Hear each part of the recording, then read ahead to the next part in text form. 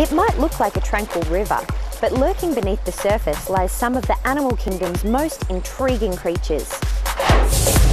Hi, I'm Priya from Melbourne Water and today I'm going to introduce you to some of the really cool creatures that live in our waterways.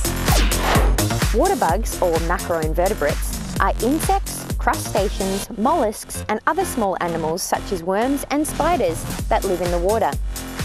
Many of these are juveniles or baby forms of the animals.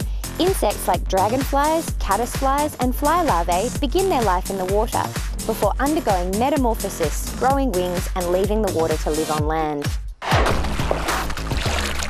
Water bugs are great biological indicators. This means that they can tell us about aquatic health.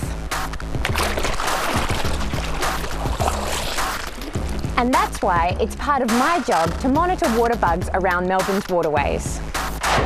Different water bugs have different tolerance to pollution, indicating the health of the ecosystem.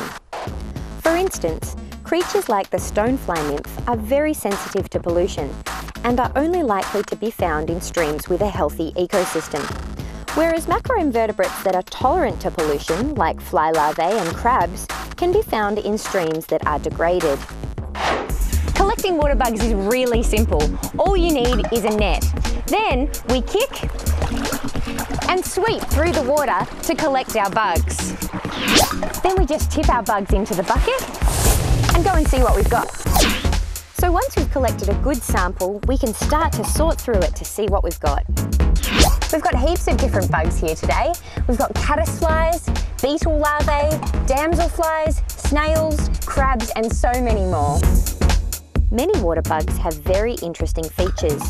Some are interesting because of the way that they breathe. For instance, these little guys are called water boatmen and they breathe by collecting a bubble of air which they hold on their chest and use like a scuba tank. Or these stoneflies which have fluffy gills at the end of their body that they wag to get more oxygen. Or dragonflies, which suck water into their bottom and breathe the oxygen through internal gills.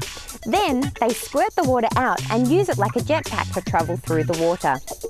Other water bugs are interesting because of the way that they hunt. For instance, these caddisflies spin a small net between two rocks and wait for their prey to be trapped in it. And damselflies have adapted bottom jaws that they use to grab their prey. It's almost like an extra arm under their chin. So once I've sorted my bugs into a small tray here, I look through my book to find what I've got. Take this crab for example. I'll identify it as a crab and then I'll mark it down on my data sheet.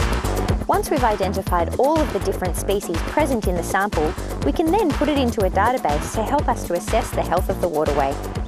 So while not knowing what's lurking beneath might give some people the heebie-jeebies, for others like me, they play a really important role in determining the health of our waterways.